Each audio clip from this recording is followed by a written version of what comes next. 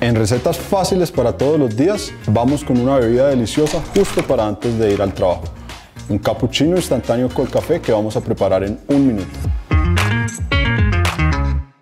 Soy el chef Sergio Riveros y estos son los ingredientes.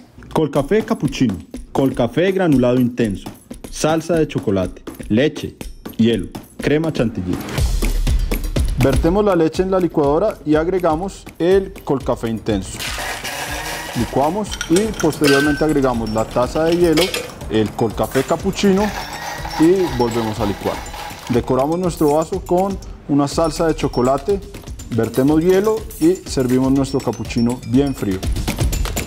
Decoramos con crema de chantilly y chocolate. Y así de fácil puedes disfrutar una bebida con Colcafé.